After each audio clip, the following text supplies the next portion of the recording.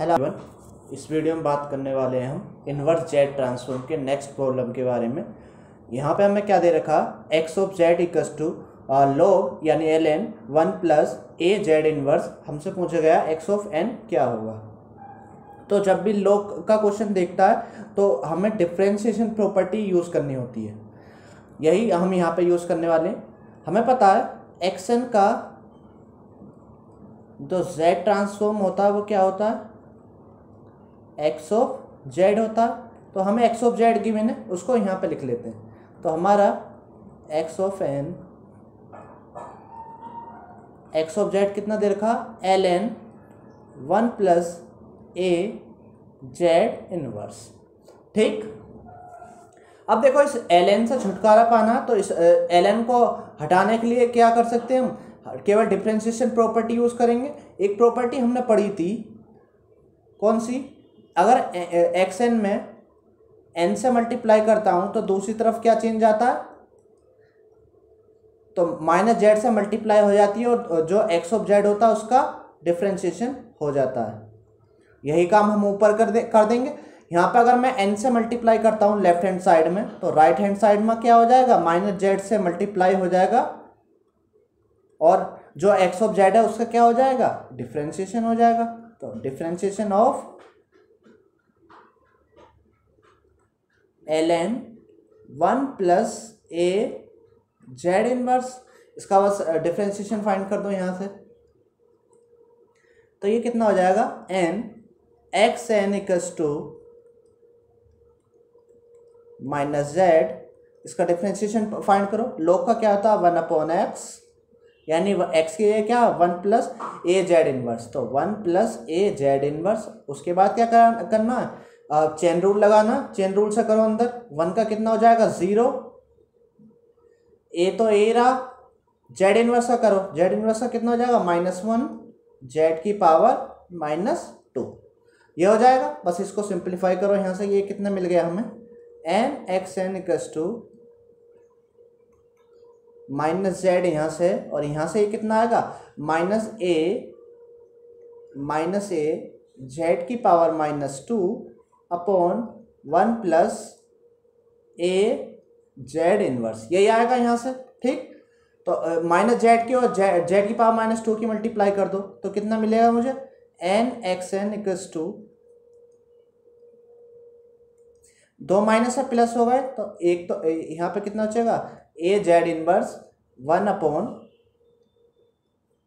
one upon a z की power minus one, ठीक?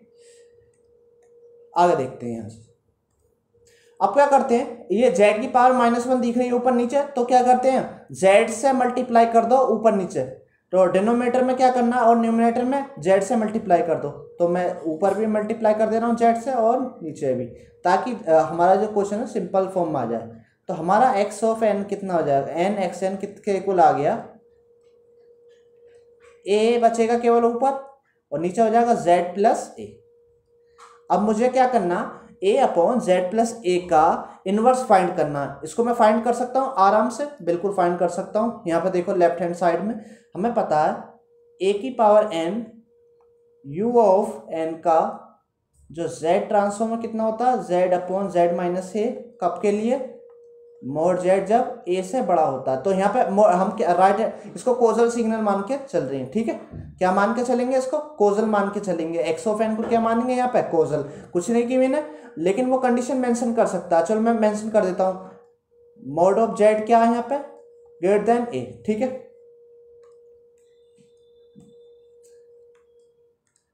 तो यहाँ पे आ गया ये। यहाँ पे क्या a upon z plus a आ रहा है। तो हम अब, अभी यहाँ पे ऐसा चीज़ नहीं बनी है। तो पहले क्या करूँ? ये जो जेड जेड है ऊपर वाला, इसको ख़त्म कर लेते हैं किसी तरीके से।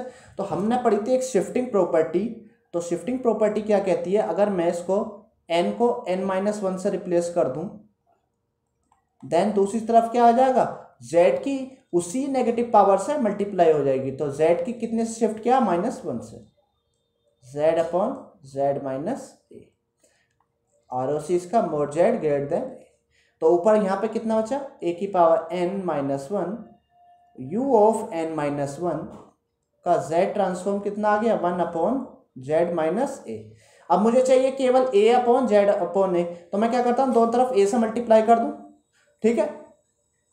एक सेकेंड एक सेकेंड यहाँ पे क्या? जेड प्लस ए तो मुझे क्या लिखना पड़ेगा? यहाँ तो ये जेड की पावर माइनस ए का फॉर्मूला तो मुझे क्या चाहिए यहाँ पे?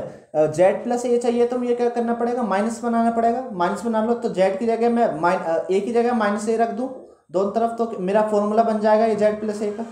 तो मैं क्या कर देता हूँ? Replace a by minus a तो ये कितना हो जाएगा? माइनस ए की पावर या एक काम कर लो पहले। क्या कर सकते हैं यहाँ पे हम? पहले क्या करते हैं? दोनों तरफ़ ए से मल्टीप्लाई कर लो। तो दोनों तरफ़ ए से मल्टीप्लाई करूँगा तो यहाँ तो बन जाएगा ए एन केवल क्योंकि एक पावर ए की, की क्या हो जाएगी? खत्म हो जाएगी इससे। तो ये कितना हो जाएगा? A upon z minus a तो हमें क्या चाहिए? जेड प्लस ए तो मैं क्या करता हूँ? ए को माइनस ए से रिप्लेस कर देता हूँ। Replace a by minus a उससे कोई फ़र्क नहीं पड़ेगा। तो यहाँ पे कितना आ जाएगा? माइनस ए की power n, u n minus one का जेड ट्रांसफॉर्म कितना हो जाएगा? यहाँ पे माइनस ए और यहाँ पे जेड प्लस ए। तो हमें केवल a upon z plus a चाहिए। तो दो माइनस वन से और मल्टीप्लाई कर दो दोनों तरफ़। तो minus one multiply by minus a की power n, u n minus one आ गया मेरा इसका z transform. A upon z plus a. तो a upon z plus a की जगह मैं क्या लिख दूँगा इधर? Minus a minus a a की power n u n minus one ठीक है? तो मैं अब इसको किसके इक्वल लिख सकता हूँ? एन एक्स एन मेरा किसके इक्वल आ गया? किसके इक्वल आ गया? Minus one multiply by minus a की power n u n minus one x n चाहिए मुझे यहाँ से केवल? तो मेरा एक्स एन कितना आ जाएगा यहाँ से? इसको और सिंप्लीफाई कर दो। माइनस वन तो ये है, इसको माइनस वन की पावर एन ए की पावर एन लिख लूँ मैं, पावर को अलग अलग कर लिया मैंने, और डिवाइड बाय ये वाला एन तो यहाँ पे देखो माइनस वन एक ये रहा, माइनस वन ये रहा। तो दो माइनस वन है, उनकी पावर क्या हो जाएगी? ऐड हो जाएगी। माइनस वन की पावर एक यहाँ पर है ये, और एन वहाँ पर है। तो एन प्लस वन हो जाएगी। मल्टीप्लाई बाय ए की power n u of n minus one upon n यही क्या इसका? आंसर है। यही हमसे पूछा गया था निकालने के लिए एक्स एन क्या होगा। ठीक है, बहुत आसान था, एक बार डिफ्रेंशिएशन प्रॉपर्टी लगाई। डिफ्रेंशिएशन प्रॉपर्टी लगा के हमने जो भी उसका इन्वर्स था वो फाइंड कर लिए, उसे इक्वेट कर दिया जो हमारी लेफ़्ट हैंड साइड थी एन एक्स एन के, और वहाँ से एक्स ऑफ़ एन फाइंड कर लिया। तो हमारा जो आंसर है, वो आ चुका है माइनस वन की power n plus one a की power n u n minus one n ठीक है, यही करना था इसमें। अगर mod z less than a होता, तब क्या, कैसे करते? ठीक है, ये सब आप करके बताओगे मुझे, ठीक है? कमेंट करके बताना। फ़िलहाल इसको देख लो, इस टाइप का क्वेश्चन आता है कोजलिटी के पे ही पूछेगा सिग्नल कोजल होगा तो। तो ये इसका तरीका, जब भी कोई ऐसा फ़ंक्शन दिखता है जिसका नहीं जानते हम तो उसका डिफ्रेंशिएशन क्या करो? लॉग वाले क्वेश्चन में तो डिफ्रेंशिएशन ही होता है हमेशा। आई होप आप लोगों को सब समझ आया होगा। फ़िलहाल इस वीडियो में इतना ही। ओके थैंक यू मिलते हैं नेक्स्ट वीडियो में नेक्स्ट प्रॉब्लम के साथ।